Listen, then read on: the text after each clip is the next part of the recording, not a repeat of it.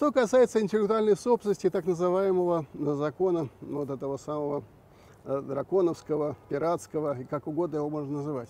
Я э, здесь не за Думу и не за э, кого бы то еще ни было, я за себя. Вот я более 40 лет, э, извините, интеллектуально насыщаю эфир. Собой, своими мыслями, своими друзьями, не знаю, своими соображениями по поводу там всего того, что происходит в стране. Э, за последние как минимум 25 лет я ни разу не получил ни копейки за использование моих взглядовских материалов в том же интернете, моего имени.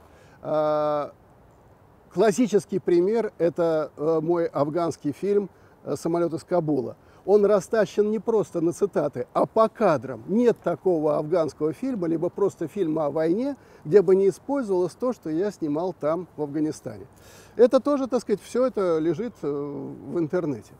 Поэтому э, я боюсь, что те люди, которые занимаются этим законом, они преследуют, наверное, разные цели, далекие от э, так сказать, цели, которые бы преследовал я, если бы как бывший депутат писал бы этот закон.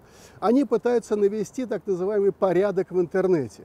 Но, наверное, начинать надо не с этого, наверное, э, в этом смысле, а хотя бы разобраться в том, а можно ли проследить цепочку например, появление на твоем экране, твоего монитора, твоего компьютера некого изображения и э, найти, так сказать, начало этого самого, э, вот э, этой цепочки, а кто, собственно, выложил, откуда оно появилось, кому платить.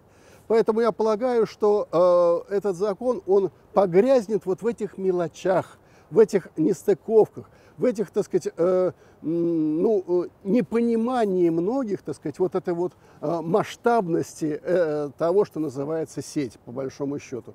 Э, хотя идея, конечно, неплохая, идея неплохая.